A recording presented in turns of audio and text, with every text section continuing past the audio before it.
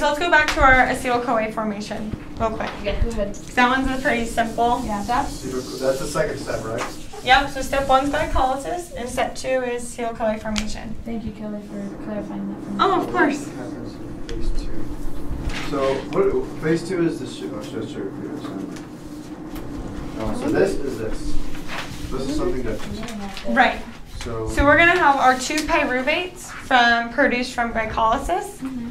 They're gonna then go into the matrix of the mitochondria and become acetyl-CoA. How? So right now we have pyruvate, right? Huh? Pyruvate. And we want to make it to acetyl-CoA. Okay, Pyruvate's a three-carbon molecule. Pyru or acetyl-CoA, it's two. two. Oh. So this is acetyl-CoA, I'm out of paper. I'm out of paper. and this is pyruvate. Do you need paper? I gotta some pictures. And I'm gonna attach it back here.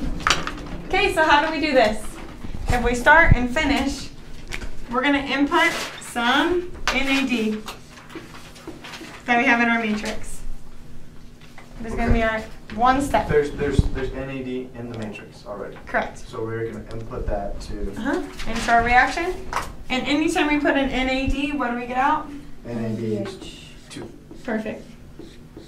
So this is C, C, C. So you're just taking some more hydrogen from that then? hmm Okay.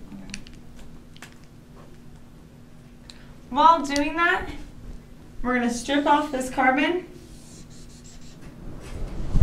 Okay, so we take it off, what are we left with? Two C's, which is acetyl-CoA. This carbon is gonna go and find some of our oxygen and make what? Carbon Um, dioxide. Carbon dioxide.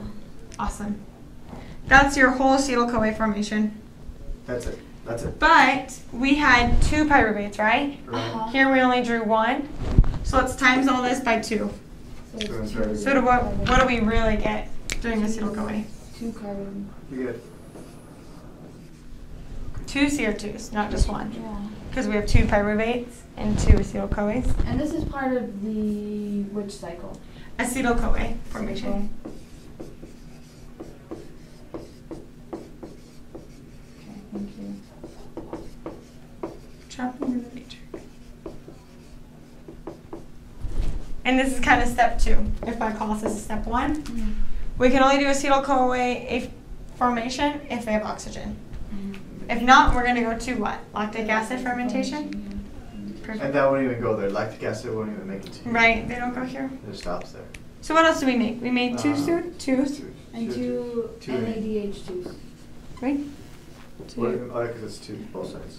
Awesome. And what else? Uh, acetyl-CoA. How many? Two, two acetyl-CoA. Wait, what do we make two acetyl CoA? Because there's one here and then another one that's Oh, back. sure. From here. Let's try it out. I Times don't it know. over Quick two. math. And that's Because they're doing the same thing to both of our pyruvates. Oh, okay.